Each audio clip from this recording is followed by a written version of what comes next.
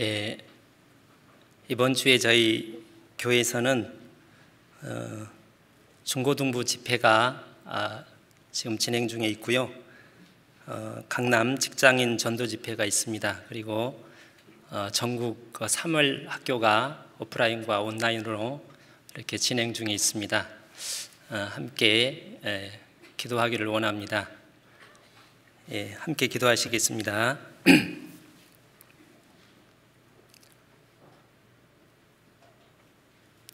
하나님 아버지 마땅히 형벌 받을 수밖에 없는 저희를 우리 주님의 그 크신 놀라운 기이한 사랑을 인하여 우리를 구원하시고 천국 소망 주시고 지금까지 저희 믿음을 지켜주시며 영광의 복음을 위해 형제 자매들과 함께 우리 하나님을 섬기며 살 수 있게 해주신 은혜에 감사드립니다.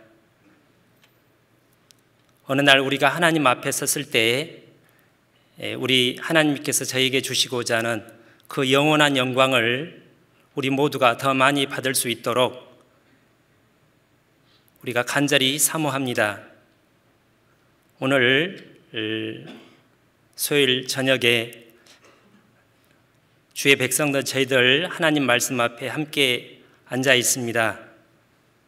자비하신 성령 하나님께서 역사하셔서 진리의 말씀이 우리 심령 가운데에 새겨지고 우리 삶 가운데에 실천이 되도록 역사하시고 은혜와 감동을 베풀어 주시기를 원합니다. 모든 것을 주님 은혜 가운데 부탁을 드리며 우리 구주 예수님 이름으로 기도 올립니다. 아멘. 예, 오늘 본문은 로마서 8장입니다.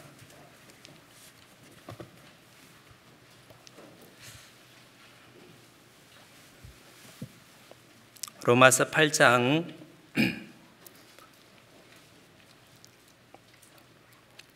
16절부터 제가 읽겠습니다. 15절부터. 로마서 8장 15절부터. 너희는 다시 무소하는 종의 영을 받지 아니하였고 양자 영을 받았으므로 아바 아버지라 부르짖느니라 성령이 친히 우리 영으로 더불어 우리가 하나님의 자녀인 것을 증거하시나니 자녀이면 또한 후사 곧 하나님의 후사요 그리스도와 함께한 후사니 우리가 그와 함께 영광을 받기 위하여 고난도 함께 받아야 할 것이니라 생각한데 현재의 고난은 장차 우리에게 나타날 영광과 좋게 비교할 수 없도다. 우리가 예수님의 구속의 사역으로 구원을 받는 것이 이 세상에 태어난 일차적인 목적입니다. 근데 그게 끝이 아니라 또 다른 우리를 구원하신 또 다른 목적이 있다고 17절에 말하고 있습니다. 17절에 자녀이면 구원받은 하나님의 구원으로 자녀가 되었으면 또한 후사, 후사라는 말을 상속자라는 뜻입니다. 곧 하나님의 후사 상속자요 그리스도와 함께한 후사니 우리가 그와 함께 영광을 받기 위하여 고난도 받아 함께 받아야 될 것이니라.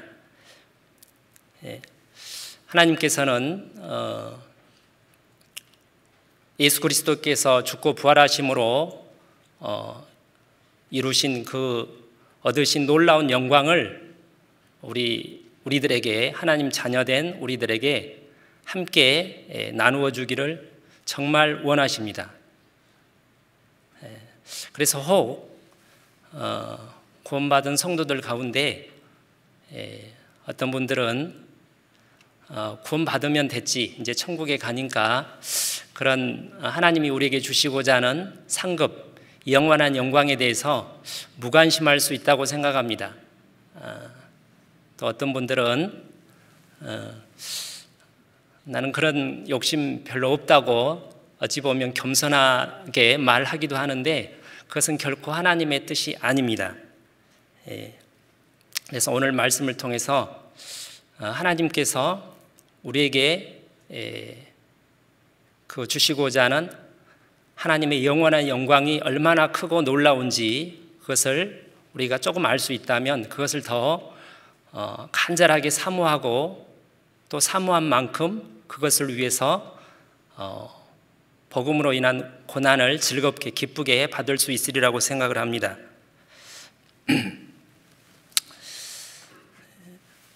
예.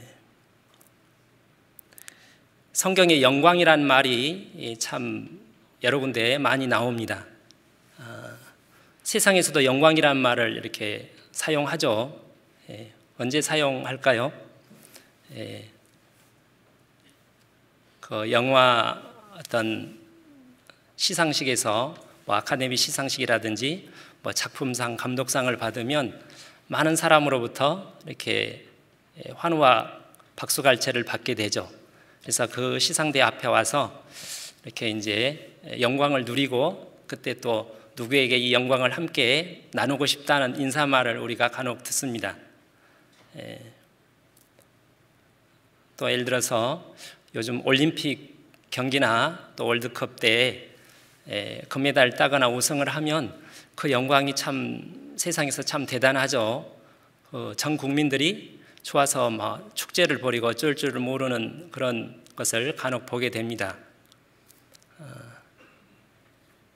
어, 제가 영광하면 떠오르는 장면은 그 배너라는 영화에서 이제 배너가 어, 이렇게 자기 장군을 잘 도와서 죽지 않게 하고 이제 승리해서 이렇게 이제 로마로 돌아와서 개선 식을 하는 장면입니다.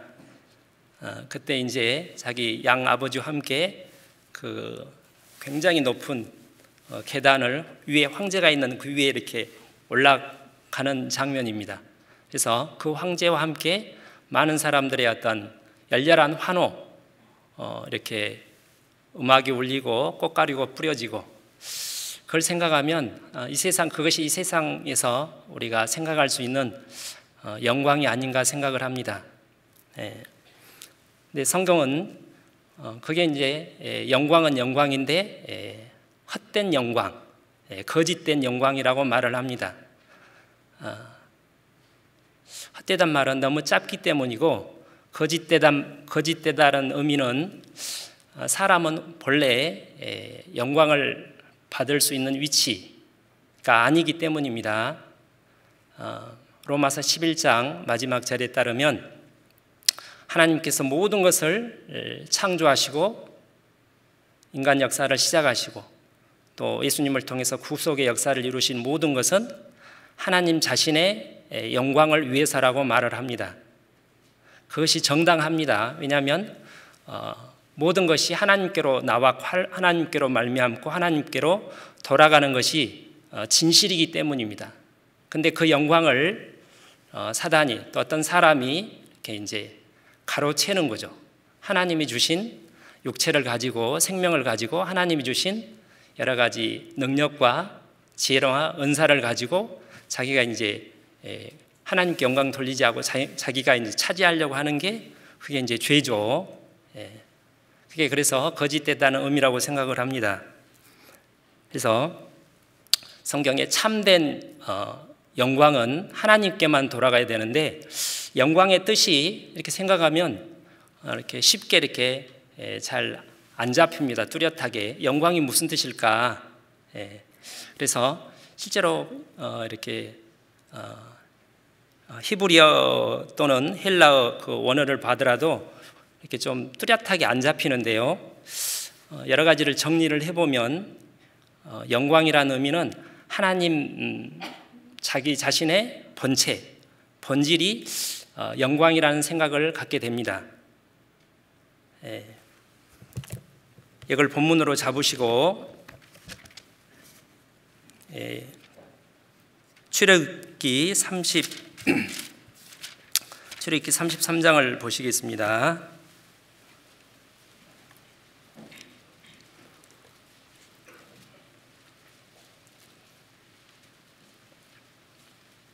17절입니다.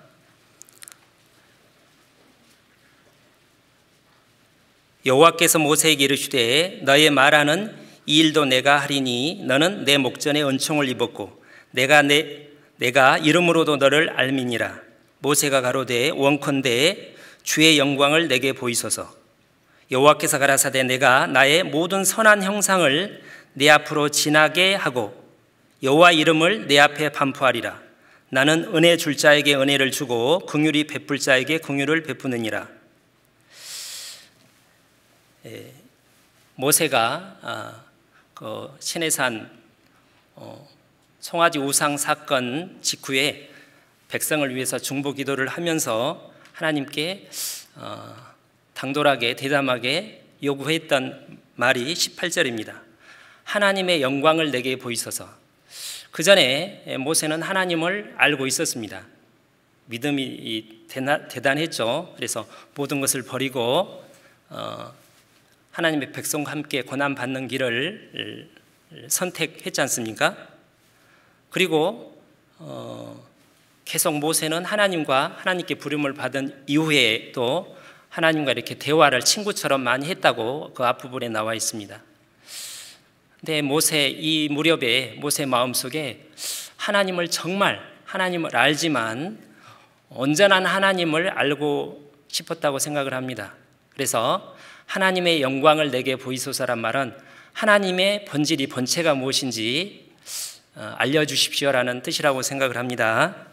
그래서 거기에 대해서 답변하기를 19절에 나의 모든 선한 형상 예, 성경에 따르면 어, 하나님은 어, 전능하시고 가장 지존하시고 그 다음에 선하시고 자비하시고 가장 지혜로우시고 아름다우시고 어, 거룩하시고 어, 모든 걸 통치하시는 분, 그 총합이 이제 영광이라고 생각을 합니다.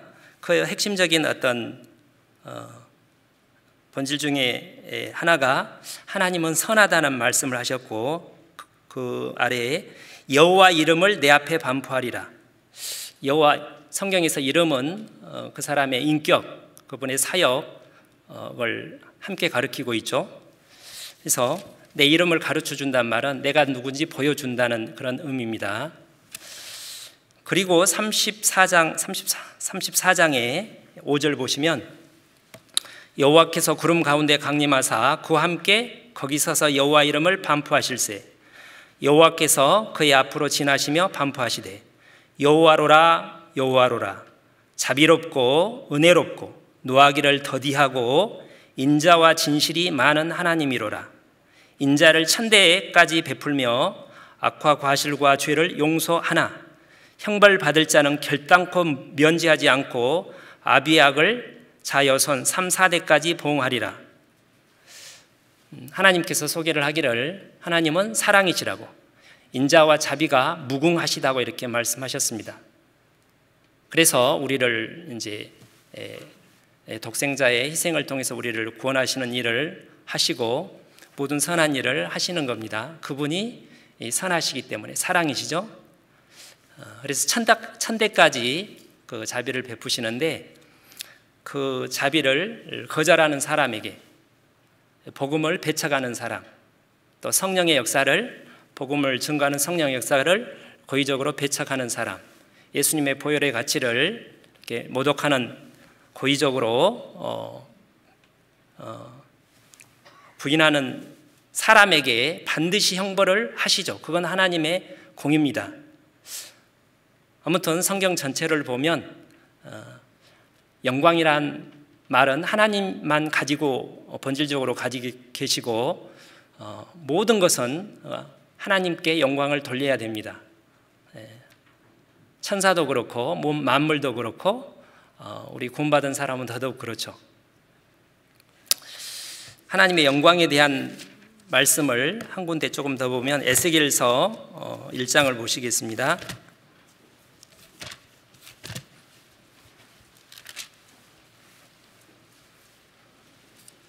1장 26절에 에스겔서 1장 26절입니다.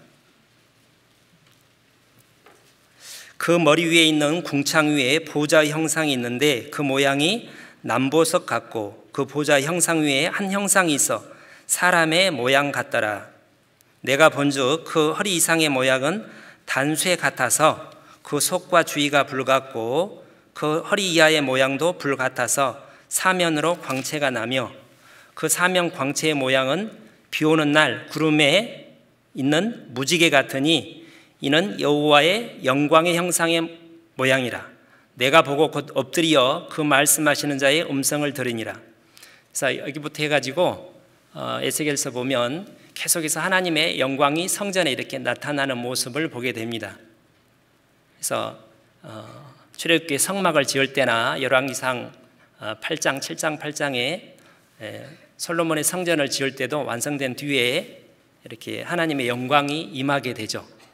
예.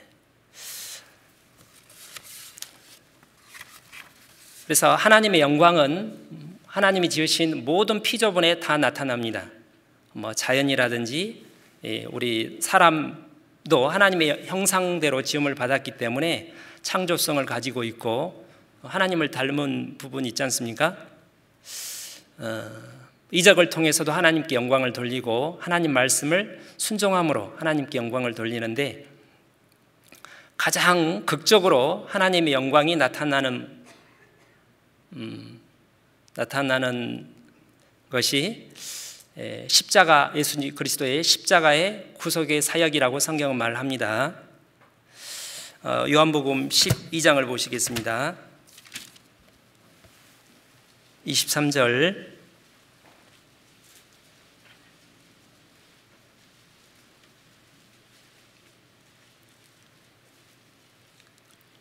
12장 23절입니다.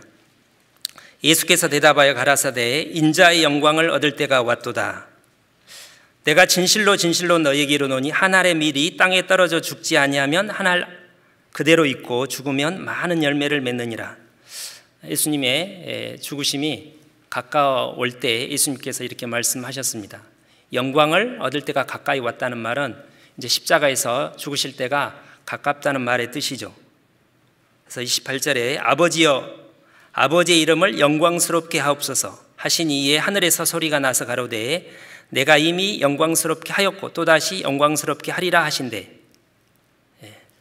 그래서 어, 요한복음 16장에도 진리의 성령이 오시면 그가 너희를 모든 진리 가운데로 인도하시리니 그가 내 영광을 나타내리니 예. 성령께서 하시는 가장 중요한 일이 예수님 성자 예수님이 하신 그 십자가의 어, 구속의 사역을 증거함으로 구원받도록 하는 그 일이죠. 예. 아무튼 어, 모든 것은 하나님의 영광을 위해서 어, 존재합니다. 예. 이사야 43장에는 물은 내 이름으로 일컫는 자 곧 내가 내 영광을 위하여 창조한 자들을 오게 하라. 그들을 내가 지었고 만들었느니라. 우리를 만드신 그리고 우리를 구원하신 궁극적인 목적도 하나님의 영광을 위해서라고 말을 합니다. 그 영광을 하나님께서 우리에게 합법적으로 주시기를 원하신다는 겁니다. 그 영광이 우리가 하나님을 다 알 수 없죠. 상상을 할 수, 상상은 할 수 있는데 온전히 상상하기도 어려운 그 놀라운 하나님의 영광을 하나님께서 어, 예수님의 구속의 사역으로 어, 자녀된 사랑하는 저와 여러분에게 그 영광을 주시고 싶다는 겁니다. 그것이 하나님의 소원이라는 겁니다. 누구에게 그 영광을 주냐? 예, 요한복음 13장에는 만일 하나님이 저를 인하여 영광을 얻으셨으면 하나님도 자기를 인하여 저에게 영광을 주시리니 영광을 하나님께 돌리는 그 삶을 통해서 순종을 통해서 또 십자가의 삶을 십자가의 어떤 고난을 통해서 하나님께 영광 돌릴 때 하나님께서 어, 예수님께 예수님이 받으시는 그 영광에 참여할 수 있도록 하나님이 허락하십니다. 그래서 다시 로마서 8장을 본문 보시면 이거 본문은 잡으시고 예.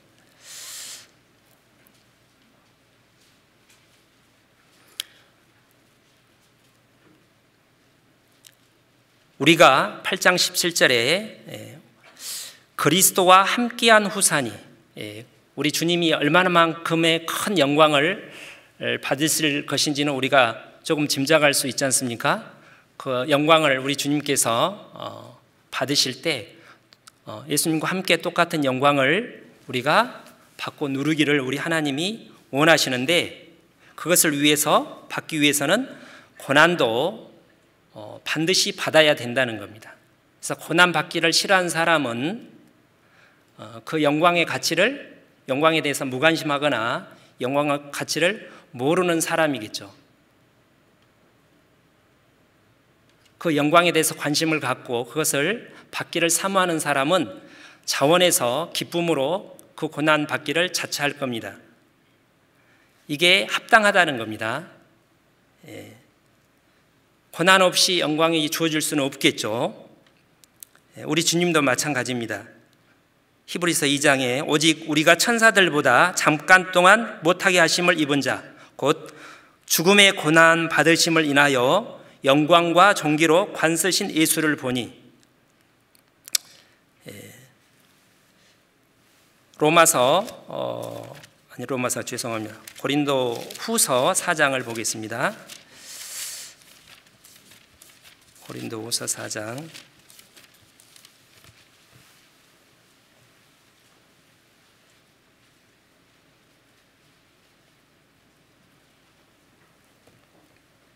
3절 고린도서 4장 3절. 만일 우리 복음이 가리웠으면 망하는 자들에게 가리운 것이라.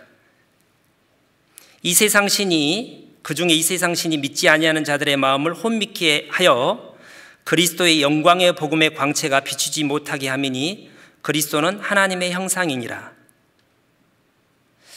어, 그래서 예수님이 이 십자가에 예수님이 이루신 그 십자가의 구속의 사역에 하나님의 영광이 가장 극적으로 뚜렷하게 온전하게 드러났기 때문에 그 복음 안에 하나님의 영광이 담겨 있는 겁니다.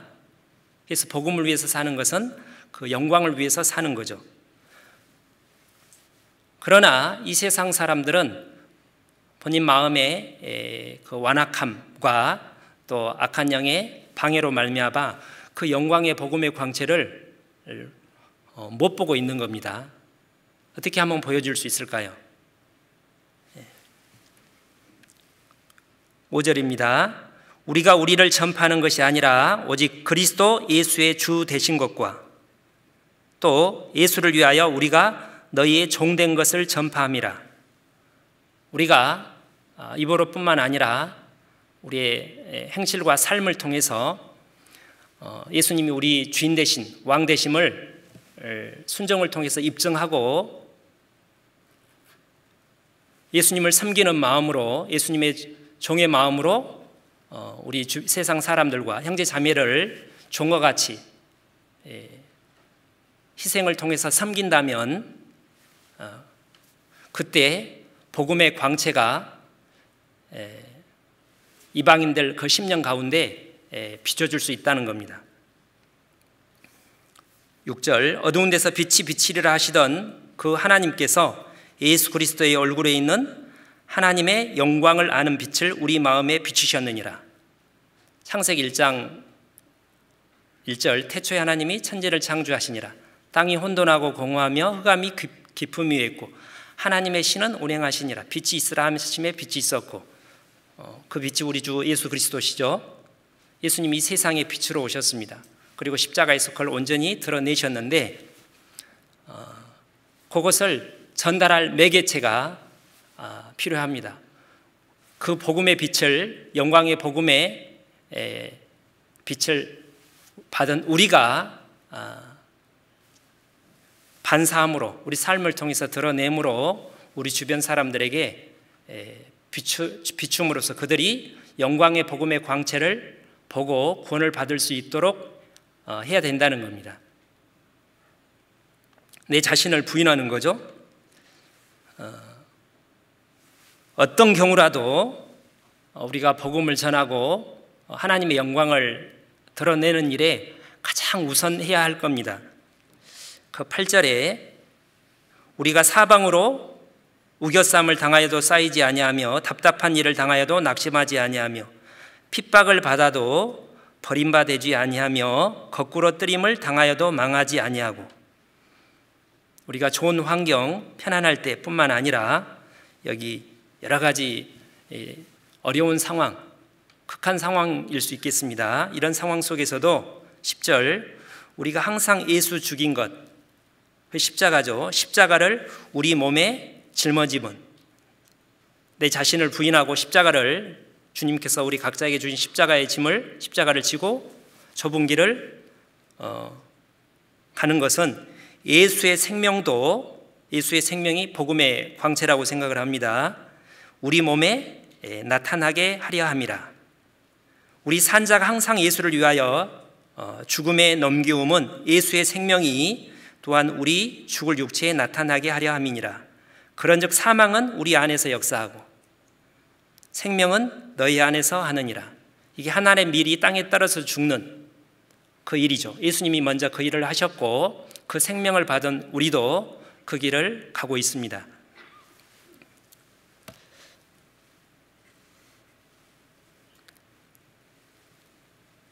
그러한 어, 어, 복음을 위해서 어, 고난을 받을 때 그 영광이 너무나 크다고 아까 로마서 8장에 돼 있었죠.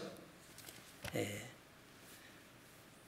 우리가 현재 받는 고난과 비교할 수 없다 이렇게 돼 있고 고린도후서 4장에는 여기 다시 여기 보시면 이렇게 돼 있습니다. 고린도후서 4장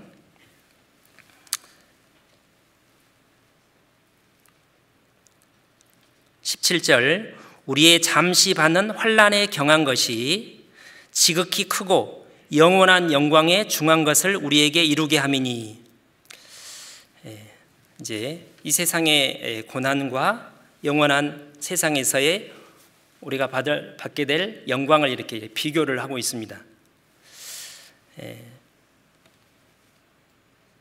왜 잠시 받는 세상에서 잠시 받는 고난을 인하여 우리가 하나님 나라에서 영원한 영광을 우리가 받을 수 있을까요? 예. 그것은 하나님께 그렇게 정하신 것인데 어, 우리를 위해서 죽고 부활하신 그 예수님께서 어, 가장 정교하신 영원하신 분이시기 때문에 그분이 영원한 어, 희생을 어, 치르심으로 어, 우리를 구속하셨기 때문이라고 생각을 합니다. 그것 때문에 우리가 행하는 믿음으로 하나님을 사랑함으로 행하는 작은 순종이 곱하기 몇천 배, 몇만 배, 몇십만, 몇백만 배가 된다는 겁니다. 제가 이렇게 생각을 해봤습니다. 우리가 영광을 받을 수 있는 어, 영광을 고난과 영광과의 관계. 그래서 어, 고난과 영광의 방식. 예. 첫 번째는 고난의 크기가 클수록 두 번째 예, 우리가 산 상황, 산 상황이 우리가 약하면 약할수록 그 다음에 그 시간이 오래면 오래일수록 그 영광이 예, 곱하기가 돼서 계속 엄청나게 기하급수적으로 이렇게 증가할 거라고 생각을 합니다.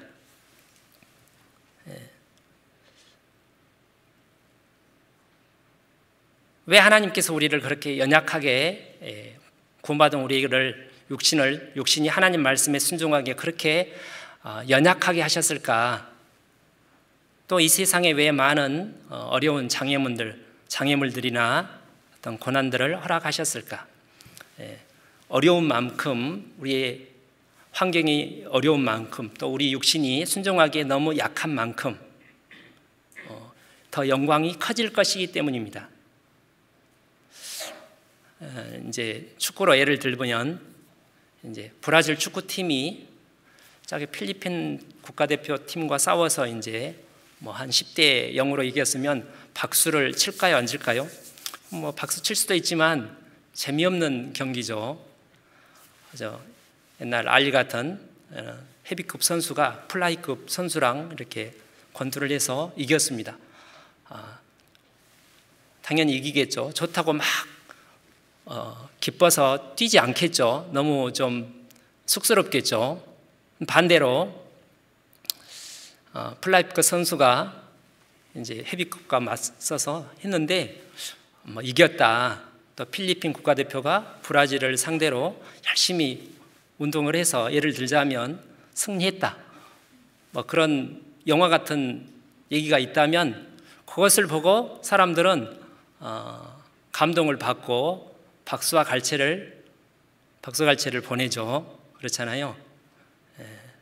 그와 마찬가지라고 생각합니다.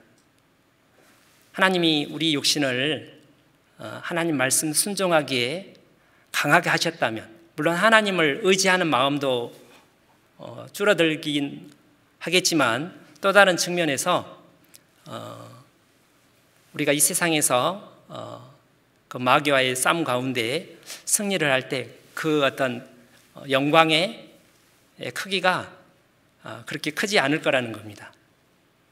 그래서 우리가 그렇게 우리를 약하게 지은 이유는 어, 세상에 많은 고난이 있는 이유는 그게 때로 오랜 시간이 지속되는 이유는 그 영광의 크기를 기하 곱하기 곱하기 곱하기 해서 한이 없이 한없는 큰 영광을 우리에게 주시기 위해서라고 생각을 합니다.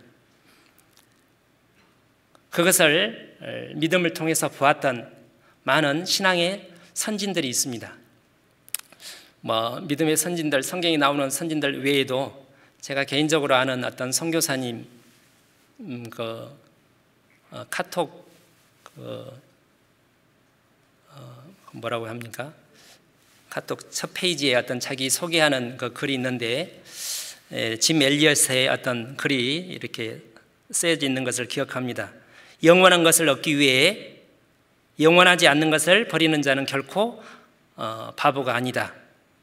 예, 에콰도르 어, 선교를 하다가 이렇게 이제 어, 순교한 짐 엘리엇이 그 일기에 쓴 어, 글이라고 하죠. 예. 역사상 많은 믿음의 선진들이 교회사 가운데 수많은 참된 그리스도인들이 또 우리 교회 가운데서 믿음의 선배들이 또 현재는 어, 가장 어, 선교 현장에서 많은 수고를 하면서 어, 복음을 힘써 전하는 선교사님들이 왜 그 길을 갈까? 여러 가지가 이유가 있겠죠. 그 중요한 이유 중에 하나가 그 영광을 바라기 때문에라고 생각을 합니다. 로마서 8장입니다. 다시 본문 보시면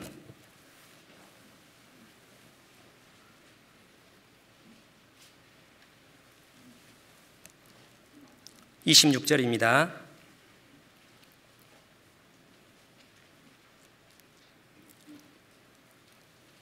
(22절) (22절) (8장 22절) 피조물이 다 이제까지 함께 탄식하며 함께 고통하는 것을 우리가 아나니 이뿐 아니라 또한 우리 곧 성령의 처음 익은 열매를 받은 우리까지도 속으로 탄식하여 양자 될 것 곧 우리 몸의 구속을 기다리느니라 이게 바울 사도의 간증이죠 바울 사도뿐만 아니라 모든 그리스도인 참된 그리스도인들이 그 영광의 복음을 위해서 어, 십자가의 좁은 길을 가는 것은 어, 쉽습니까? 그렇지 않습니까? 쉬웠으면 바울 사도가 이렇게 간증하지 않았겠죠. 어, 그게 너무 힘든 겁니다. 육신적으로는.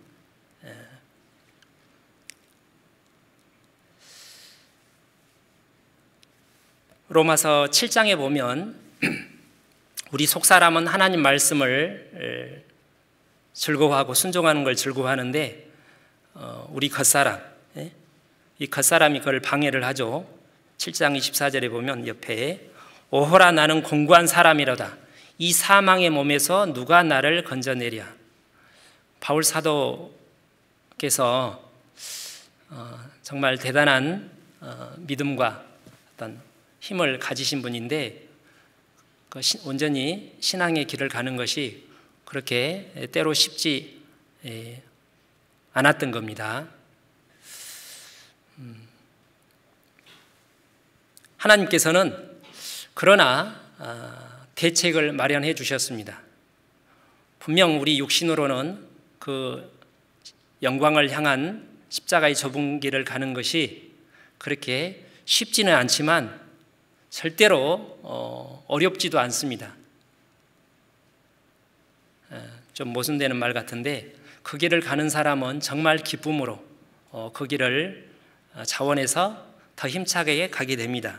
그 이유가 뭐냐면 8장 26절 하나님께서 어, 우리 육신을 하나님 육신이 하나님 말씀에 순종하게 그렇게 약하게 해 주셨음에도 불구하고 놀라운 대책을 세워 주셨습니다. 26절 이와 같이 성령도 우리의 연약함을 도우시나니 우리가 마땅히 빌 바를 알지 못하나 오직 성령이 말할 수 없는 탄식으로 우리를 위하여 친구 친히 간구하시느니라. 마음을 감찰하시는 이가 성령의 생각을 아시나니 성, 이는 성령이 하나님의 뜻대로 성도를 위하여 간구하심이니라. 어, 우리 10년 가운데 보이사 성령을 우리 하나님께서 주셨습니다. 그리고 또 하나 34절에 누가 정죄하리요 죽으실 뿐 아니라 다시 살아나신 이는 그리스도 예수시니 그는 우리 하나님 우편에 계신 자요 우리를 위하여 강구하시는 자신이라. 예수님이 모든 그 구속의 사역을 마치시고 하나님 부자 보좌 우편에 앉으셨는데 이제 가만히 우리를 지켜만 보고 계신 게 아니라 어, 우리의 대제사장으로서 우리를 위해서 어, 기도하고 계시다고 여기 말하고 있습니다. 그래서 어, 모든 시험을 받으시고 그 시험을 이기신 하나님께 우리가 은혜를 구하고 담대히 나가면 우리 주님께서 우리가 이 세상을 이기고 모든 고난을 이기고 그 영광 영원한 영광을 위해서 십자가의 좁은 길을 능히 갈 수 있도록 어, 필요한 모든 은혜와 능력을 우리 예수님께서 주님께서 어, 충분히 다 공급하신다는 겁니다. 히브리서 2장을 보시겠습니다. 히브리서 2장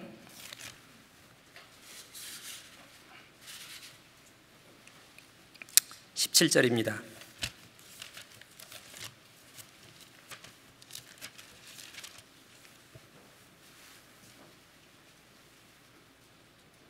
히브리서 2장 17절 그러므로 저가 범사에 형제들과 같이 되심이 마땅하도다. 이는 하나님의 일에 자비하고 충성된 대제사장이 되어 백성의 죄를 구속하려 하심이라.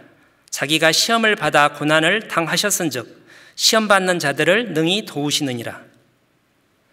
자 우리가 이제 사단과 영적인 싸움을 전쟁을 치르고 있습니다. 이제 하나님이 예수님께서 우리를 뒤에서 도와주시는 거예요. 그러면 사단이 이렇게 이제 예를 들어서 말을 합니다.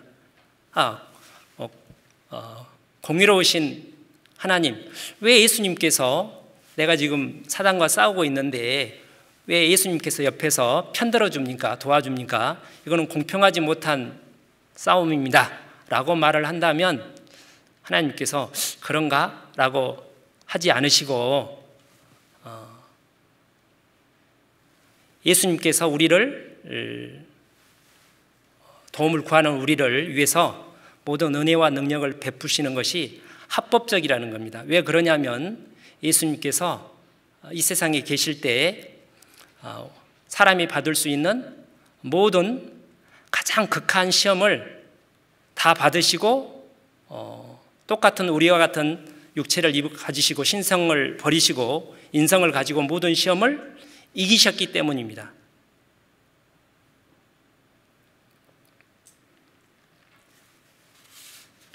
잘 아시는 대로 마태복음 4장에 이제 예수님께서 40일 금식하신 뒤에 성령에 이끌려서 이끌려 광야로 가서 이제 마귀의 시험을 받았죠.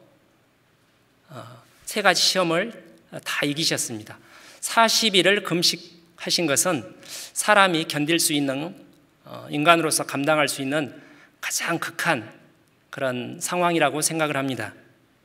근데 예수님께서 이기셨습니다. 어, 왜 그러하셨냐면 어, 우리를 합법적으로 우리가 도움을 구할 때 은혜와 능력을 구할 때 합법적으로 우리를 도우시기 위해서 만약 예수님께서 우리 죄만 음, 우리 죄만 용서하시고 구원하고자 한다면 어, 십자가에서 피를 흘리고 죽으시면 됩니다. 뭐 굳이 34세 되지 않더라도 더 어린 나이에 예수님께서 피를 흘리고 죽으시면 죄를 짊어지고 죽으시면 그게 전혀 부족함이 없죠. 근데 왜 그 모든 시험을 받으시고 이기시고 온전히 하나님께 순종을 하셨을까? 우리를 자녀 삼아 주시고 의롭다 하시기 위해서 또 하나 이유가 아, 여기 말씀하신 대로 우리를 돕기 위해서 여기 왼쪽 2장 히브리서 2장을 보시겠습니다. 9절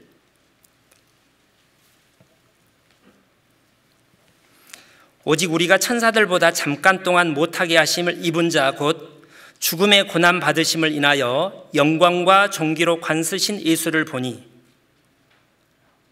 예수님은 죽고 부활하심으로 이제 영광과 존귀로 관쓰셨는데 그 뒤에 이를 행하심은 하나님의 은혜로 말미암아 모든 사람을 위하여 죽음을 맛비로 하심이라.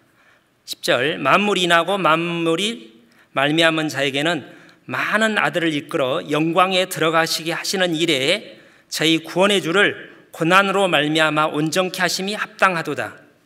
예. 우리에게 그 영원한 영광을 주시기 위해서 그리고 그 영광을 얻을 수 있도록 하나님께서 모든 필요한 은혜와 능력을 합법적으로 주시기 위해서 그 시험을 안 받을 수도 있었지만 일부러 받으시고 모두 다 이기셨다는 겁니다. 5장 보시겠습니다. 5장 히브리서 5장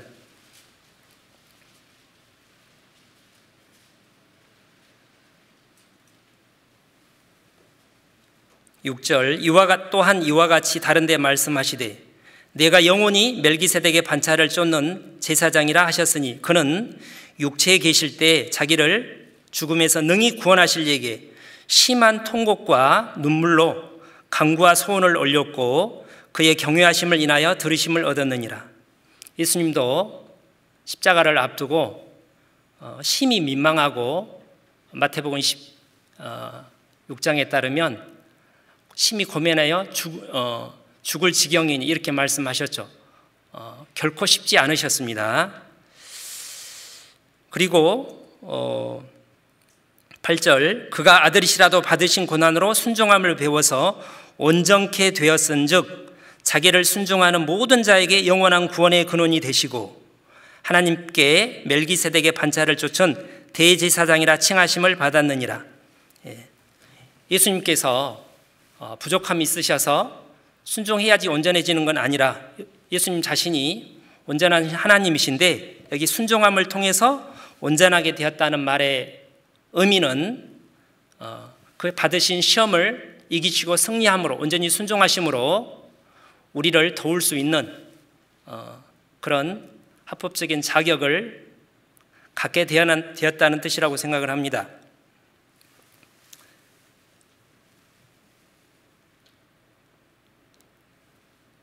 만약에 어떤 사람이 이미 예수님께서 이루신 구원을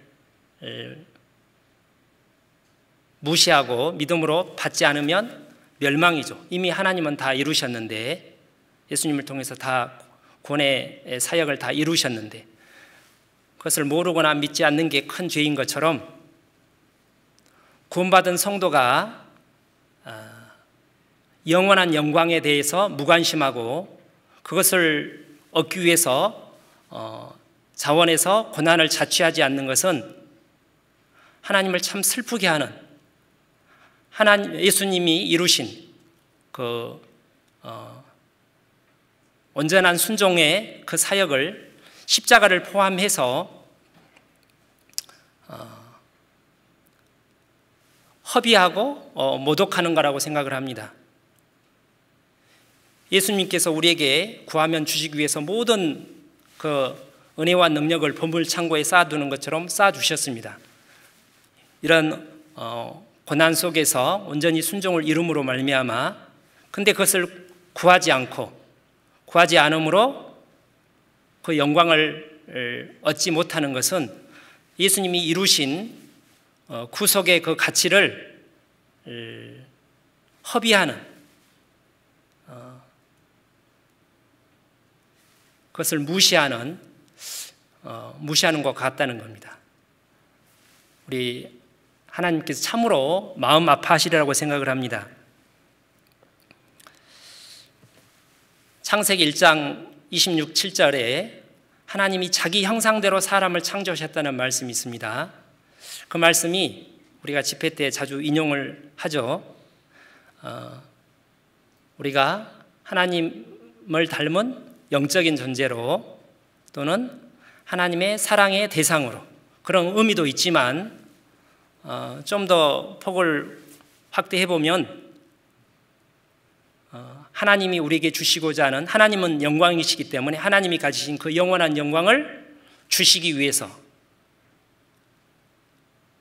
예수님 예수님이 함께 그 예수님께서 그 영원한 영광을 누리실 때 그 영광에 함께 참여하도록 하기 위해서 우리를 만드셨다는 겁니다. 우리를 만드실 뿐만 아니라 구원하셨다는 겁니다.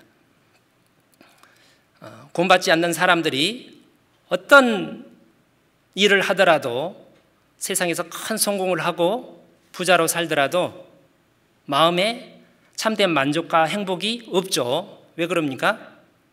예. 사람 속에는 사람의 영은 영원을 사모하는 영생을 사모하는 마음이 있기 때문에 그 영생을 얻기 전까지 결코 만족과 행복이 없는 것처럼 구원받은 성도가 그 영원한 영광을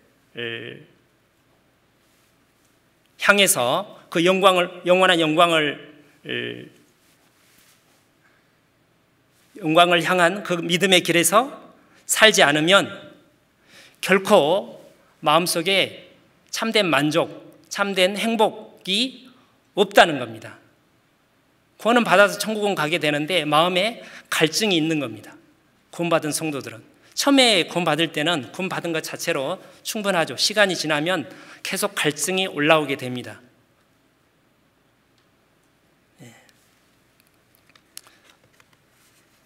그래서 우리는 어, 구원을 받을 때 그 영광을 얻기 위해서 처음부터 어, 설계된 세팅이 된 예, 하나님의 자녀라고 말할 수 있습니다.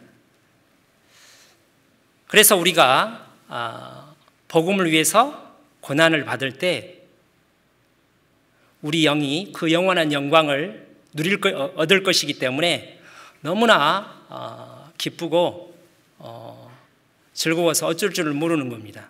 잘 아시는 대로 제가 마태복음 5장을 한번 읽어보겠습니다. 의를 위하여 핍박을 받는 자는 복이 있나니 천국이 저희 것임이라. 나를 인하여 너희를 욕하고 핍박하고 거짓으로 너희를 거스려 모든 악한 말을 할 때는 너희에게 복이 있나니 기뻐하고 즐거워하라. 하늘에서 너희 상이 크민이라. 예, 우리가 복음으로 인해서 어, 핍박을 받을 때 우리 영이 본능적으로 그 영원한 영광을 이렇게 이제 하늘의 영광이 쌓여갈 것이기 때문에 쌓여가고 있는 중이기 때문에 너무나 행복하다는 겁니다. 많은 일을 어떤 어, 어떤 일을 해서 일당이 뭐, 뭐 몇십만 원 굉장히 높습니다. 일당이 몇십만 원 아니 몇백만 원. 근데 이제 해서 일을 많이 해가지고 돈을 많이 벌면 어, 이제 육신적으로 기분이 좋고 행복한 것처럼 우리 영혼이 기뻐하는 겁니다. 그렇게. 그래서 사도행전에 보면 사도들이 복음을 전하다가 채찍을 맞았을 때 그것을 탄식하고 슬퍼한 게 아니라 오히려 어, 기뻐하고 즐거워했죠. 스테반 집사님께서 처음 순교할 때 자기를 향해서 이를 갈고 어, 노려보는 그들을 향해서 어, 스테반 집사님 이렇게 말씀을 하나님 말씀 복음의 말씀을 전합니다. 그리고 돌에, 돌에 이제 맞아서 죽어가면서 그들을 위해서 어, 기도했는데 사도행 6장에는 그때 스테반 집사님의 얼굴이 천사와 같이 빛났다고 되어 있습니다. 그 마음속에 말할 수 없는 어, 형언할, 형언, 설명할 수 없는 그런 기쁨이 넘쳤던 겁니다. 예.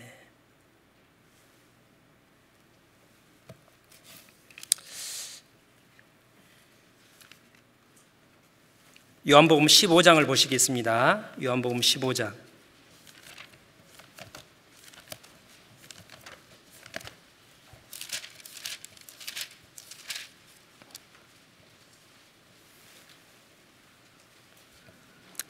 (10절입니다) 요한복음 15장 10절 내가 아버지의 계명을 지켜 그의 사랑 안에 거하는 것 같이 너희도 내 계명을 지키면 내 사랑 안에 거하리라 내가 이것을 너희에게 이름은 내 기쁨이 너희 안에 있어 너희 기쁨을 충만하게 하려 함이니라. 어, 우리들 10년 가운데 우리 주님이 계시죠. 주의 영이 계십니다. 그 주님의 영은 우리가 아, 하나님 말씀을 순종함으로 복음을 위해서 어, 하나님께 영광을 돌림으로 우리가 살아갈 때그 예수님이 소원이셨지 않습니까? 우리 10년 가운데 예수님이 너무 기쁘신 거예요. 좋아서 어쩔 줄을 모르신 겁니다. 우리도 그 사랑하는 주님과 함께 한 영이 됐기 때문에 우리 영도 함께 기뻐하고 즐거워하는 거죠. 그래서 우리가 복음을 위해서 고난받지 않으면 그리스도인들은 어, 과거에 나는 구원받을 때 행복했고 언젠가 천국에 가면 어, 행복할 것 같지만 지금 내 마음은 어, 어떤 측면에서 답답하고 굉장히 무기력하게 됩니다. 왜냐하면 영원한 영광을 얻기 위해서 구속이 됐는데 그렇지 않는 삶을 살기 때문입니다. 창세기 25장을 보시겠습니다.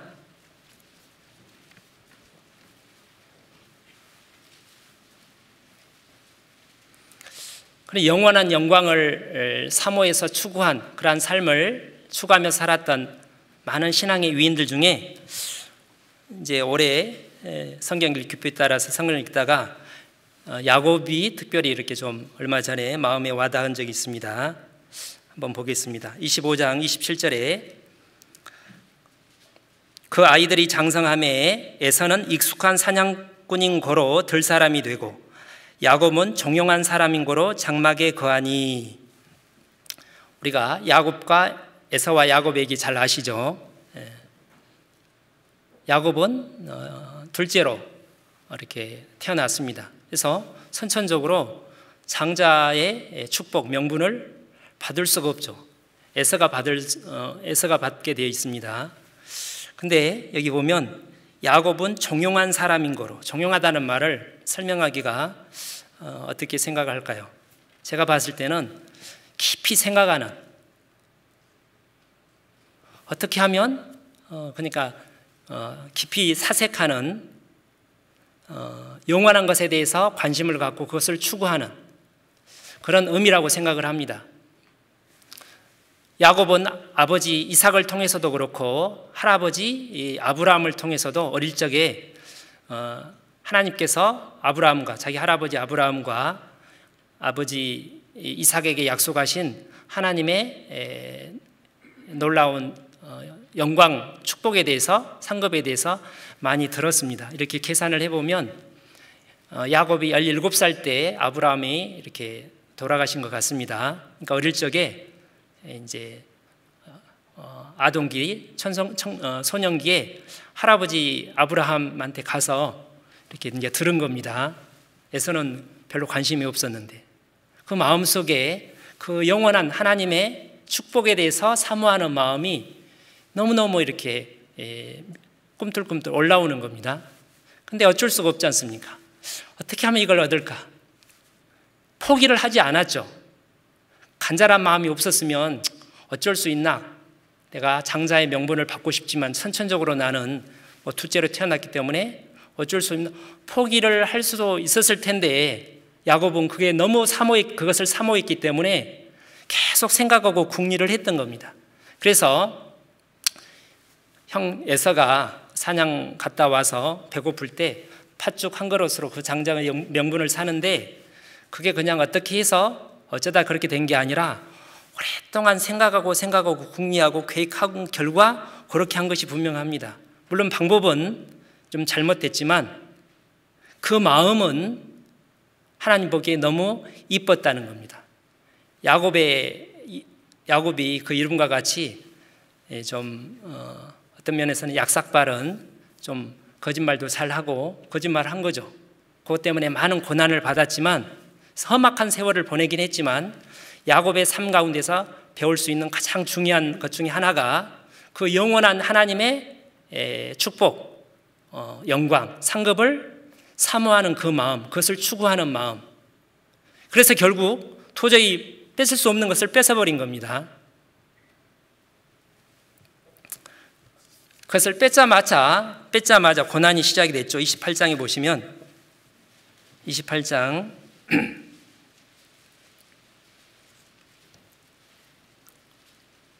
10절 28장 10절입니다. 창세기 야곱이 부엘세바에 있었다나 하란으로 향하여 가더니 한 곳에 이르러는 해가 진지라 거기서 유숙하려고 그곳에 한 돌을 취하여 배기하고 거기 누워 자더니 꿈에 본즉 사닥다리가 땅 위에 있는데 그 꼭대기가 하늘에 닿았고 또 본즉 하나님의 사자가 그 위에서 오르락 내리락 하고 또 본즉 여호와께서 그 위에 서서 가라사대 나는 여호와니 너희 조부 아브라함의 하나님이요 이삭의 하나님이라 너 누운 땅을 내가 너와 내 자손에게 주리니 내 자손이 땅의 티끌같이 되어서 동서남북에 편만할지며 땅의 모든 족속이 너와 내 자손을 인하여 복을 얻으리라 하고 이제 축복을 약속합니다. 어, 왜 하나님께서 하나님 야곱과 이제 언약이 이렇게 시작이 된 겁니다. 아버지 할아버지 아브라함, 아버지 이삭에게 약속하신 그 언약이 이제 야곱에게도 그대로 이제 이루어진 겁니다. 왜 그렇게 했습니까? 어, 그것을 간절히 사모했기 때문에 방법은 좀 올바르지 않았지만 그 마음만은 하나님 보기에 너무나 이뻤다는 겁니다. 그때부터 해서 야곱의 고생 살이가 시작이 됐죠. 이렇게 나이를 계산해 보면 어, 야곱이 집을 떠난 게 한 70세 이상, 77세쯤 됐습니다. 그러니까 상당히 나이가 많은 거죠. 어, 항상 이제 어머니와 함께 장막에서 이렇게 어머니, 어머니 이제 하는 일을 어, 도와주고 뒷바라지 하면서 어, 생각하기 좋아하는 야곱이 이제 본격적으로 집을 떠나서 고생살이가 시작이 된 겁니다. 바로 그때 하나님께서 하나님의 영광을 계시해 준 겁니다. 축복하신 거죠. 우리도 하나님의 영광을 사모함으로 고난의 길을 출발할 때, 그렇게 결심을 하고 출발을 할 때 하나님께서 어, 전보다 더 많이 그 영광이 얼마나 크고 놀라운지, 크고 중한지를 더 우리에게 깨닫게 하고 우리 영혼의 눈을 밝혀줄 거라고 생각을 합니다. 제가 얼마 전에 꽤 됐는 한 달 전쯤에 찬송가를 하나 들었습니다. 너무나 크게 감동이 돼서 제가 그 하루 종일 거의 들은 적이 있습니다. 내 주를 가까이라는 찬송인데요. 그 가사를 한번 편곡을 좀 했는데 그 가사를 좀 눈여겨 보시면서 한번 같이 들었으면 좋겠습니다. 방송실 부탁합니다.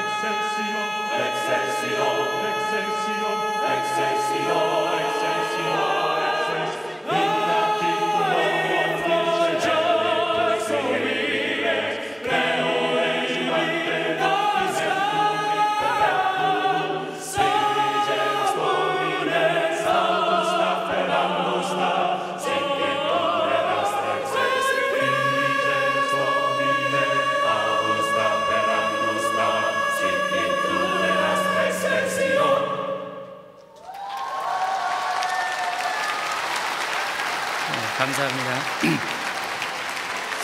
어떻게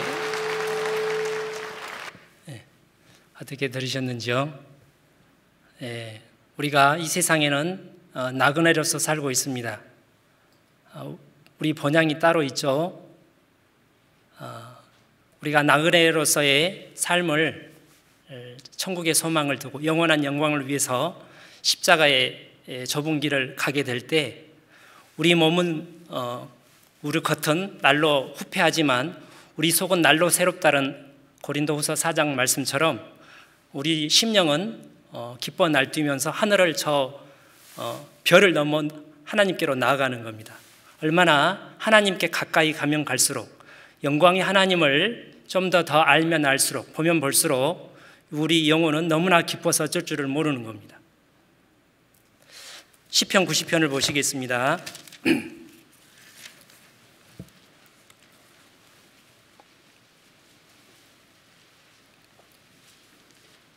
시편 90편은 어, 그 표제에 하나님의 사람 모세의 기도라고 되어 있습니다.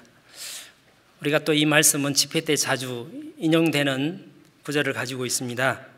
그래서 어떤 우리 삶이 얼마나 짧은지 헛된지에 대한 어, 교훈을 주고 있는데요. 에,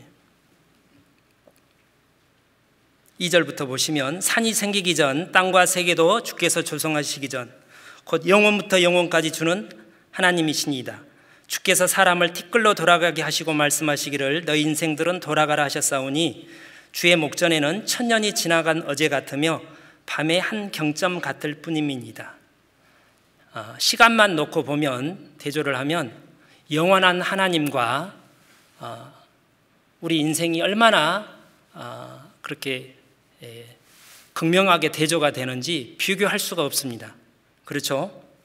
예, 그래서 어, 먼지와 같이 예, 그리고 그 뒤에는 이렇게 되어 있습니다. 6절에 푸른 5절부터 보시면 주께서 저희를 홍수처럼 쓸어 가시나이다. 저희는 잠깐 자는 것 같으며 아침에 돋는 풀 같으니이다. 푸른 아침에 피어 자라다가 저녁에는 뱀바되어 마르나이다. 우리는 주의 노예에 소멸되며 주의 분내심에 놀라나이다. 주께서 우리의 죄악을 주의 얼굴 앞에 놓 주의 앞에 놓으시며 우리의 은, 은밀한 죄를 주의 얼굴빛 가운데 두셨사오니 우리의 모든 날이 주의 분노 중에 지나가며 우리의 평생이 일시간에 다 하였나이다. 예.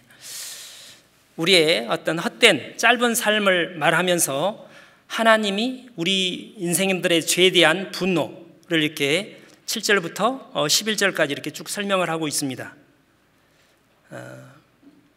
11절에 누가 주의 노의 능력을 알며 누가 주를 두려워하여야 할 대로 주의 진노를 알리까? 어, 모세가 이제 이 시편을 모세가 기록 언제 기록했을까?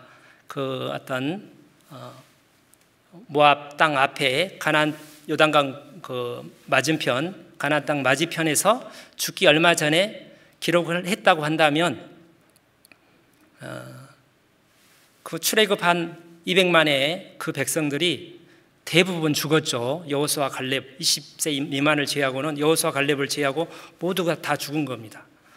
어, 홍수처럼 노아 홍수 때 그냥 어, 가족 노아 가족 여덟 사람을 제하고 다 쓸어버린 것처럼 20세 미만을 제하고 20세 이상으로는 어, 여호수아 갈렙을 제하고 다 죽은 겁니다. 자기 누나 미리암도 죽었고 아름도 얼마 전에 죽었습니다. 다 죽은 거예요. 이제 아무도 없습니다. 60세 이상으로는 두 사람을 제하고 그게 하나님의 거룩한 분노죠. 불순종으로 말미암은 왜 그들이 불순종했습니까?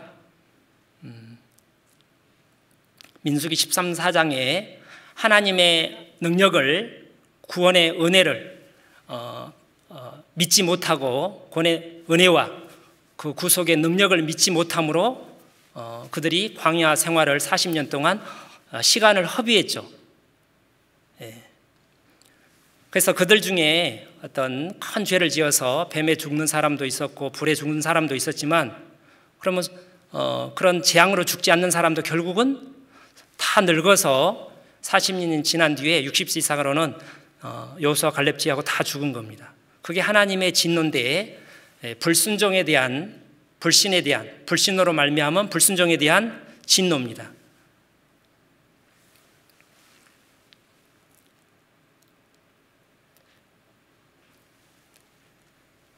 시편 78편에 하나님이 저희 나를 헛되이 보내게 하시며 저희 해를 두렵게 지내게 하셨도다. 어, 발전이 없는 진보가 없는 헛된 제자리 걸음하는 삶 이것이 하나님의 에, 슬픈 징계입니다. 거룩한 진노입니다. 모세가 그걸 보면서 얼마나 마음이 아팠던지 12절에 이렇게 기도합니다. 누가 주의 노의 능력을 알며 누가 주를 두려워하여야 할 대로 주의 진노를 알리까? 우리에게 우리 날 개수함을 가르치사 지혜의 마음을 얻게 하소서. 이 너무나 짧은 이 삶을 이 삶이 영원한 것과 영원한 영광을 위해서 어, 살아야 되는데 그 귀한 시간을 40년 동안 대부분 허비한 것에 대한 너무나 큰 고통과 슬픔, 안타까움을 표현한 거라고 생각을 합니다. 그래서 하나님께 중보 기도를 합니다. 15절 우리를 공곡케 한 날수대로와 우리의 화를 당한 연수대로 기쁘게 하소서. 주의 행사를 주의 종들에게 나타내시며 주의 영광을 저희 자손에게 나타내소서. 주 우리 하나님의 은총을 우리에게 임하게 하사 우리 손의 행사를 우리에게 경고케 하소서. 우리 손의 행사를 경고케 하소서. 하나님, 우리 이 백성들이 하나님의 애굽에서 구속 하나님께서 구속한 이 백성들이 그 영원한 영광을 위해서 살 수 있도록 하나님의 영광을 보여주십시오. 그것을 볼 수 있는 눈을 주시고 그러, 그러한 삶을 살 수 있도록 하나님 불쌍히 여겨 주십시오. 은혜를 베풀어 주십시오. 그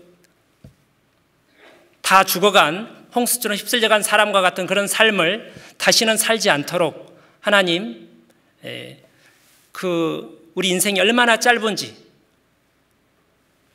육신의 삶이 영원한 영광과 상관없는 육신만을 위한 삶이 얼마나 가치 없는지 헛된지를 깨달을 수 있도록 그것이 하나님의 어, 가장 큰 진노고 어, 분노임을 알 수 있도록 하나님 도와주십시오. 라는 뜻이라고 생각을 합니다.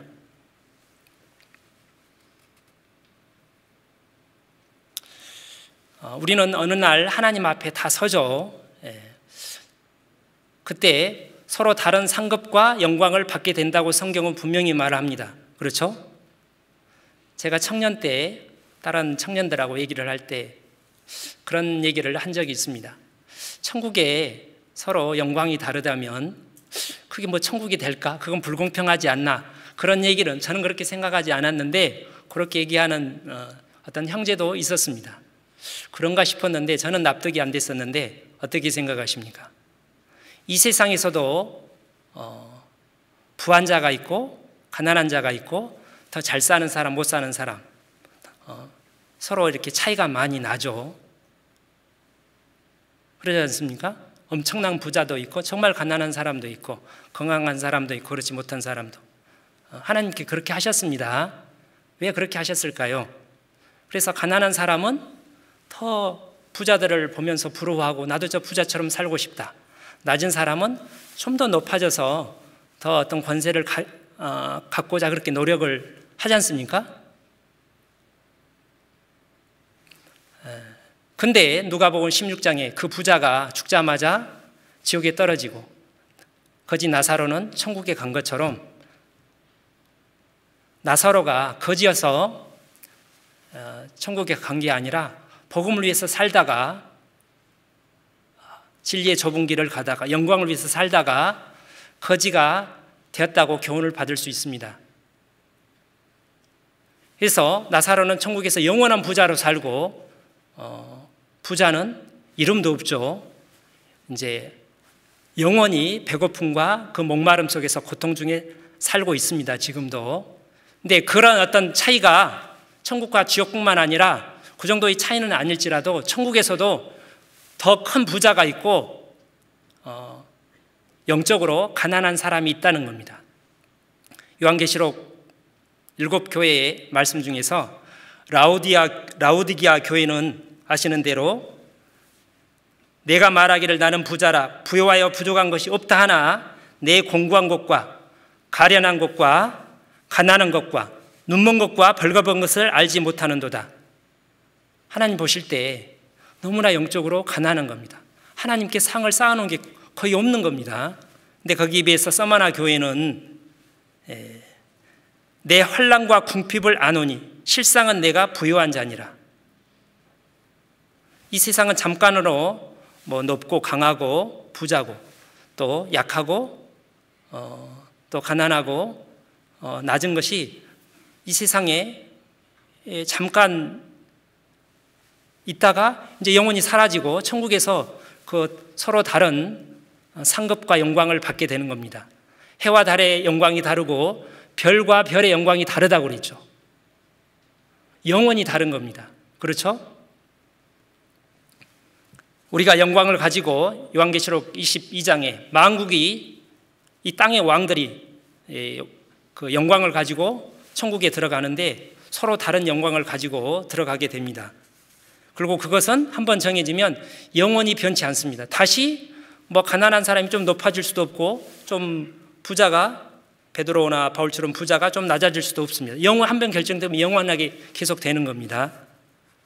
그것이 너무 어, 그게 하나님의 공이죠. 그래서 베드로전서 1장에 외모로 보시지 않고 각 사람의 행위대로 판단하신 자를 너희가 아버지라 부른즉 너희의 나그네로 있을 때를 두려움으로 지내라고 이렇게 베드로 사도가 경고를 했습니다. 제가 신앙 초기에 하나님은 사랑이신데 왜 두려워하는가 좀 납득이 안 된 적이 있었는데 참 철이 없었죠 신앙적으로 하나님은 늘 나를 사랑하시지만 항상 기다려 주시지만 그렇다고 어, 순종도 안 하는데 상을 주시는 일은 절대로 없다는 겁니다.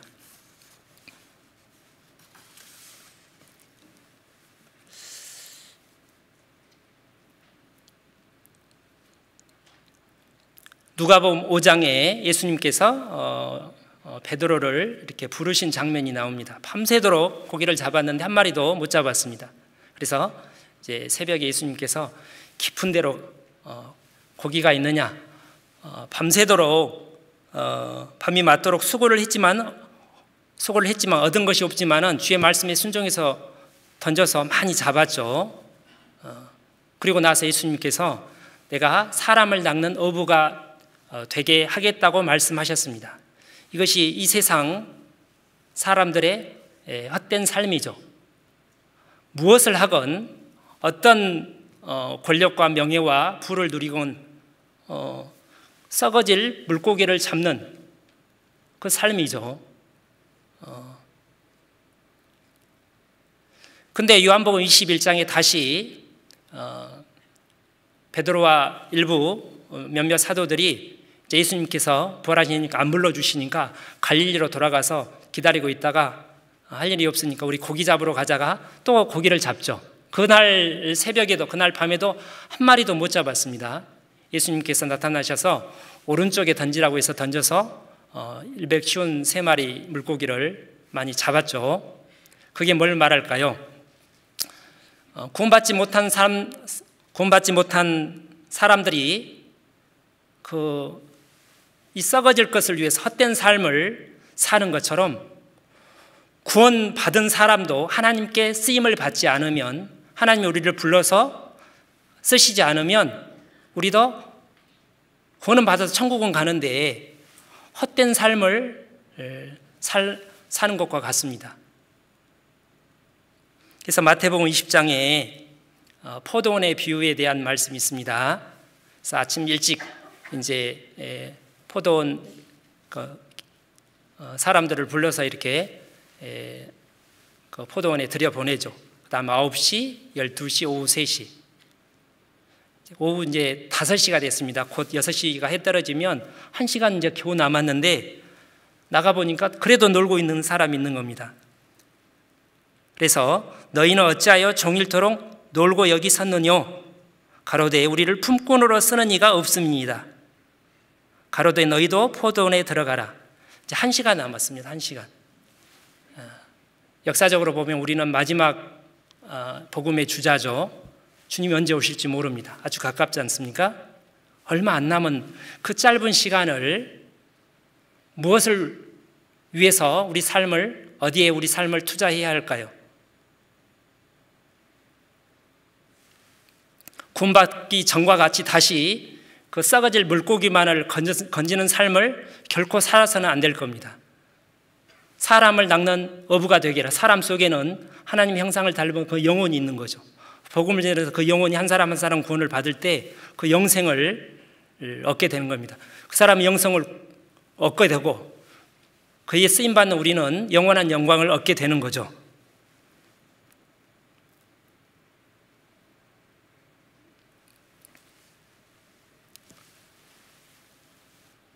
작년 12월 31일 동계 수련회 우리 이완 목사님 첫날 말씀 중에 복음에 대한 말씀 중에 어, 우리가 이렇게 삶을 지금까지도 열심히 살아왔지만 이대로 어, 끝난다면 우리가 우리 삶이 너무 억울하지 않겠냐 이런 말씀이 저는 개인적으로 굉장히 와닿았습니다. 요한복음 17장 보시 17장을 보시겠습니다.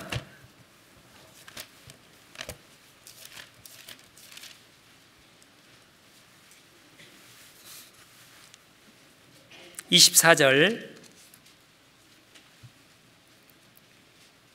17장 24절입니다.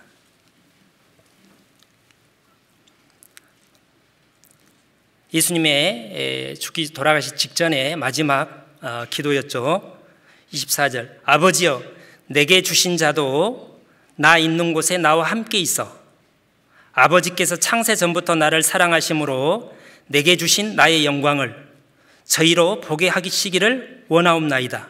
이것이 예수님의 마지막 기도 제목 중에 하나였습니다. 이거는 세상을 향한 게 아니라 구원받은 자녀들이 향한 예수님의 마지막 간절한 기도입니다. 예수님은 그 하나님 어, 하나님의 영광을 너무나 잘 알고 계시죠.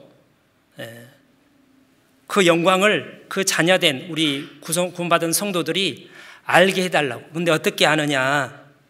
나 있는 곳에 나와 함께 있어. 예수님은 십자가에 돌아가실, 돌아가실 때만 그 자리에 계신 게 아니라 지금도 예수님 마음은 어, 십자가의 복음이 전해지는 곳에 복음으로 말미암아 고난을 받는 곳에 십자가의 복음으로 인해서 좁은 길을 눈물을 흘리며 어, 걷는 그 사람의 10년 가운데 하나님께서 우리 주님께서 함께 하시고 그 복음의 영광을 밝은 빛과 같이 비춰 주시는 게 틀림이 없습니다. 로마서 8장을 보시겠습니다.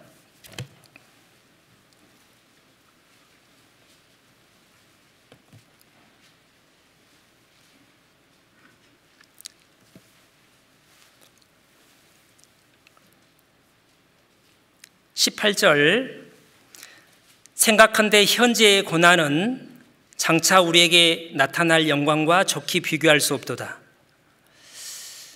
에, 현재의 고난이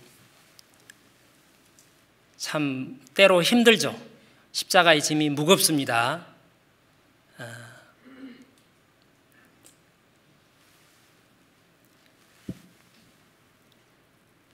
이 로마서 7장은 어, 영과 육의 싸움을 말하고 있고 8장에서 성령을 쫓아서 행하면 육신을 이기고 세상을 이기고 복음을 위해서 고난받는 삶을 살 수 있다고 얘기를 하는데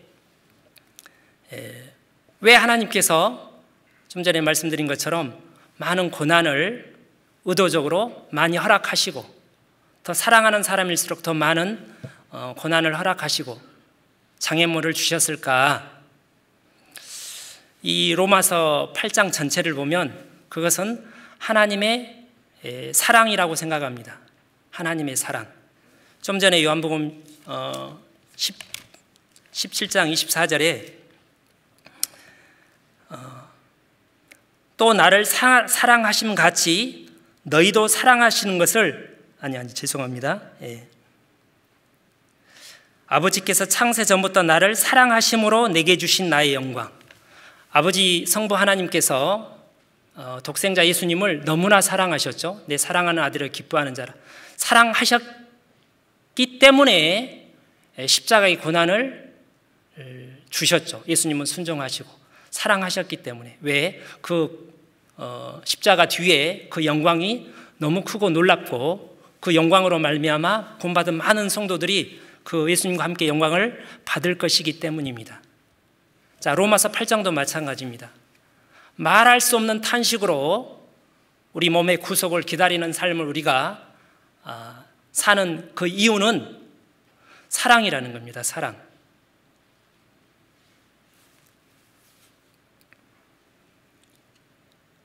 부모는 자식이 조금 더 공부 잘하고 좀 더 좋은 대학교에 들어가고 좋은 직장에 뭐 이렇게 들어가고 좀더 어, 잘 살기를 정말 바랍니다.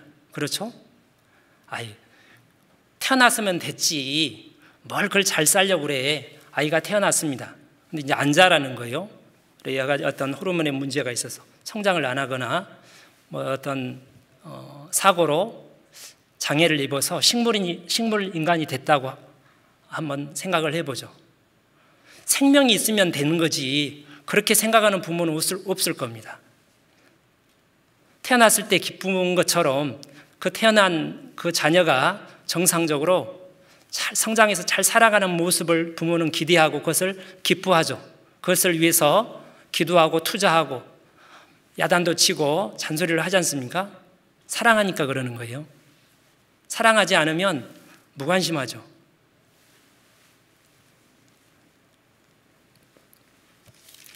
로마서 8장 여기 좀 보시면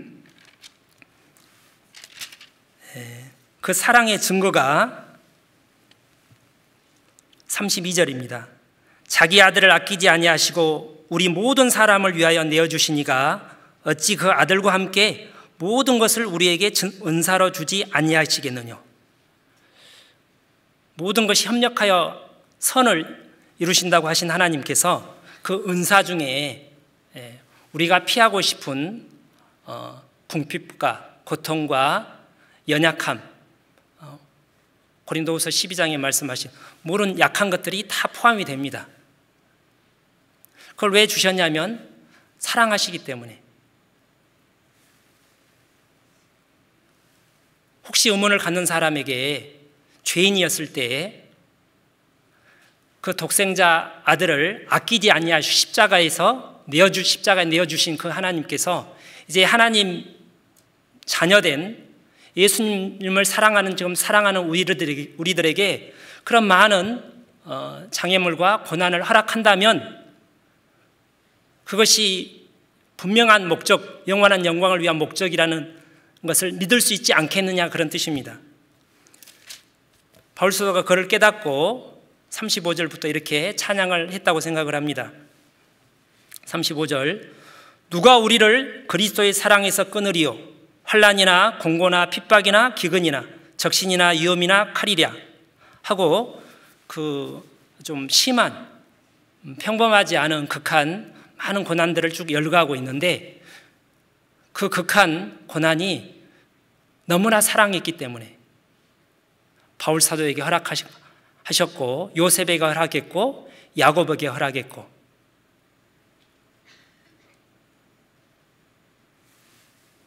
그리고 어, 요백에 허락한 겁니다.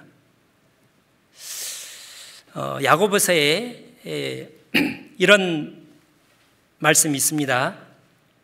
보라 인내, 인내 하는 자를 우리가 복되다 하나니 너희가 욥의 인내를 들었고 주께서 주신 결말을 보았거니와 주는 가장 자비하시고 긍휼히 여기시는 자신이라. 제가 오랫동안 좀 이해가 잘 안 된 구절 중에 하나였습니다.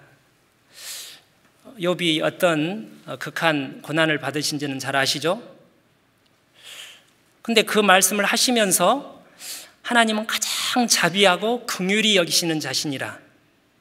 아니 가장 자비하신 분이 가장 긍휼히 여기시는 분이 선하시고 어, 사랑이 사랑이신 그분께서 왜 이렇게 야곱에 어, 욥에게 그큰 어, 끔찍한 어, 고통을 고난을 환란을 허락하셨을까? 욥이 부르짖습니다.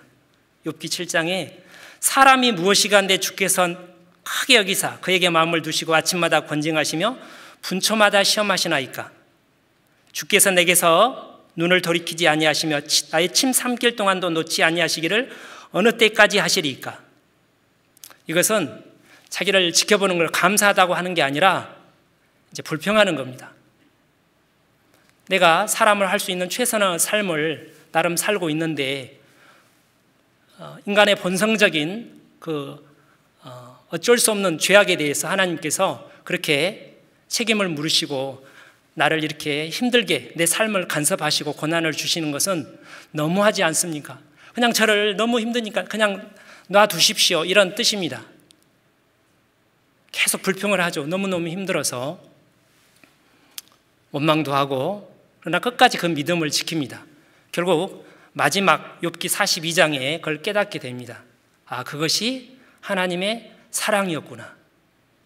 욥을 너무너무 사랑했기 때문에 욥에게 큰 고난을 허락하시고 또 욥을 통해서 많은 사람들이 교훈을 받죠. 베드로전서 5장을 보시겠습니다.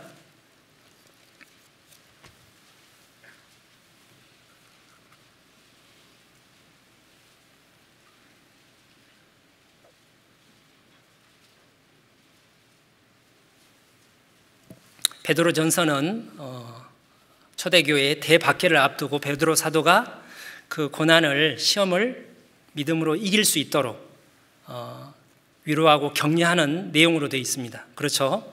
예. 그 마지막에 이렇게 이제 말을 합니다. 예, 5장 9절 너희는 믿음을 굳게 하여 저를 대적하라. 이는 세상에 있는 너희 형제들도 동일한 고난을 당하는 줄을 알미니라.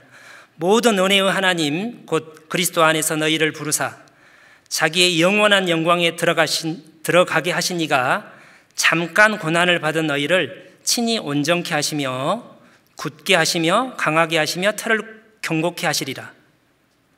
권력이 세세 무궁토록 그, 그에게 있을지어다 아멘. 12절 내가 신실한 형제로 아는 실로아노로 말미암아 너희에게 간단히 써서 권하고 이것, 이것이 하나님의 참된 은혜임을 증거하노니 너희는 이 은혜에 굳게 살아. 이 참된 은혜라는 말은 어, 이 베드로 전서에 기록된 모든 어, 시련, 어, 불같은 시험, 약 200년간 지속이 됐던 초대교회의 대박해를 의미합니다. 그것이 하나님의 은혜라는 겁니다. 바울 사도도 간증을 했죠. 고린도전 15장 10절에 내가 다른 사람보다 더 많이 수고했으나 이것이 은혜였다고.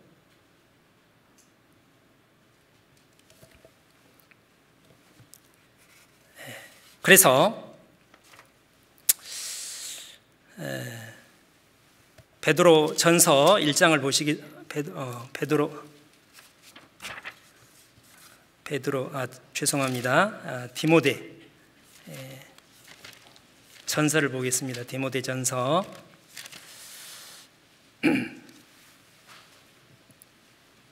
1장 12절 디모데 전서 아 1장이라고 그랬나요, 제가? 6장 6장 12절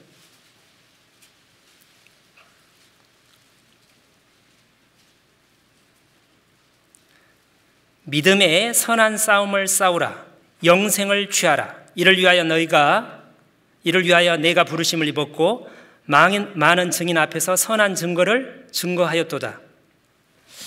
어, 그, 그 앞에 보면 지족하는 마음을 갖고 부활에 하는 마음을 갖지 말고 돈을 사랑하지 말고 것들을 버리고 그럼 뭘 추구하느냐?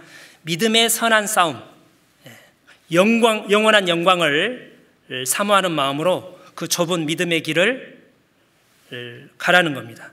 그게 선한 싸움입니다. 그리고 이뤄진 영혼을 건지는 겁니다. 영생을 취하는 복음을 전해서 구원받은 영생을 취하는 거죠. 그게 이게 이렇게 말할 수도 있습니다. 영원한 영광을 쟁취하라. 이것을 위해서 우리 각자가 하나님께 부르심을 받고 구원을 받았다는 겁니다.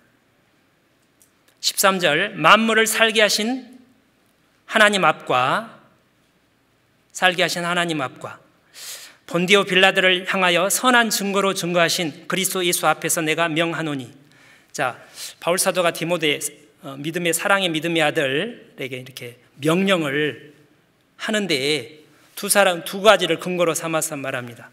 만물에게 생명을 주신 저와 우리에게 생명을 주신 그리고 어, 십자가에서 죽고 부활하신 십자가의 그 고난과 수치를 받으시고 어, 부활하신 그 예수님의 이름을 걸고 어, 영생을 취하라는 겁니다.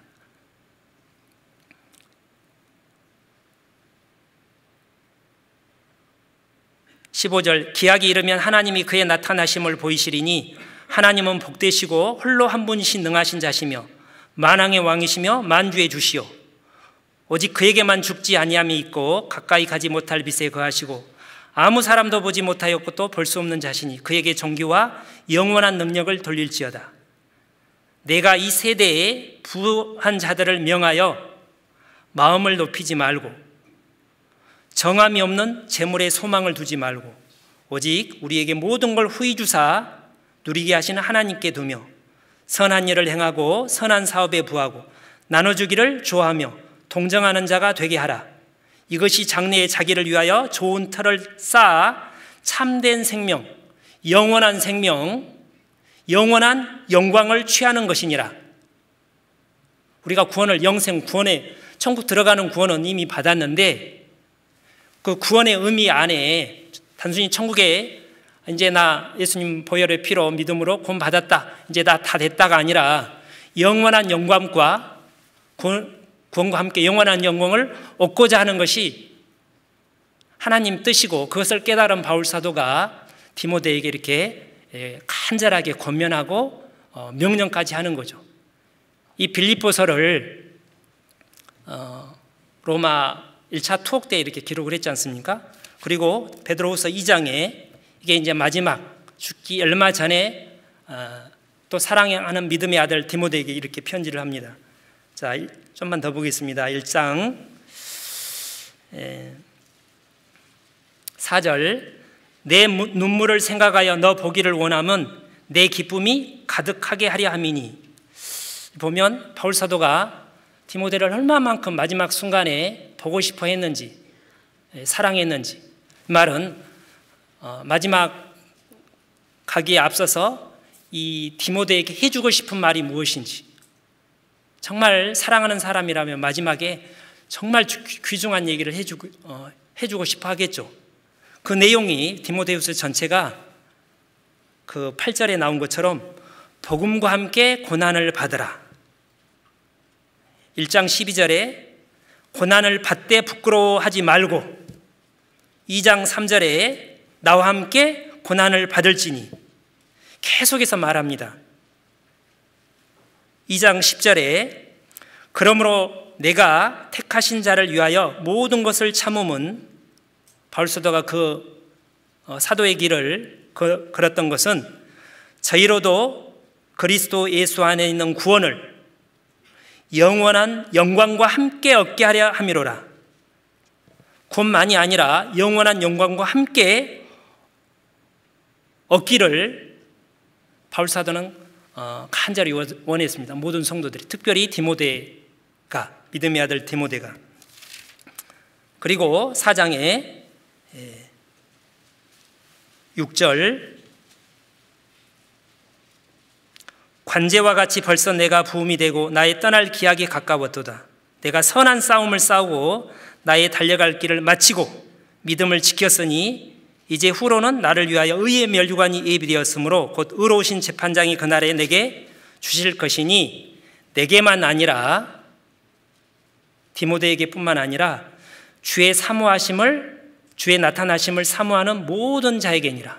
자, 우리가 진정으로 주님이 오시기를 사모합니까?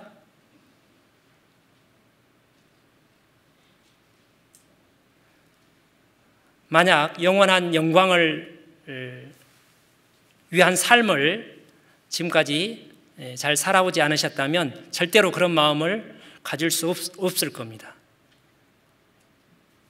성경에 보면 하나님의 영광을 본 사람들이 이사야서, 이사야 선지자, 이사야서 6장에 다니엘도, 에스겔도, 또 모세도, 또 다윗도 하나님의 영광을 이렇게 맛본 사람이 더 하나님의 영광을 영광에 대해서 갈급함을 가집니다. 음식도 먹어본 사람이 맛을 알잖아요. 그잖아요. 이 세상에 돈도 벌어본 사람이야 돈 맛을 알 거예요. 돈 못 벌어본 사람은 그게 좋기는 하겠는데 얼마나 좋은지 잘 모를 텐데 그런 것처럼 영원한 하나님의 영광을 믿음의 눈으로 바라보고 그것을 위해서 사는 가운데 하나님의 영광을 10년 어, 가운데 누리면서 하나님이 주시는 기쁨을 말할 수 없는 기쁨을 누리고 사는 사람은 그것을 더욱 간절하게 사모하게 되어 있습니다. 만약 그렇지 않다면 어, 정말 돌아봐야 될 거라고 생각을 합니다. 기도하고 마치겠습니다. 하나님 감사합니다. 우리가 무시간대에 그처럼 놀라운 우리 주님의 십자가의 사랑을 어, 깨닫게 하시고 구원하시고 자녀 삼아 주시고 또한 어, 우리를 후사로 삼아 주신 하나님 감사합니다. 우리 주님이 영광의 주님이 잠시 에 오실 때 우리 주님과 함께 영원한 영광을 누릴 수 있는 삶을 이 땅에서 살 수 있도록 하나님 우리를 일깨워 주시고 우리에게 은혜를 베풀어 주시기를 간절히 원합니다. 우리 구주 예수님 이름으로 기도 올립니다. 아멘.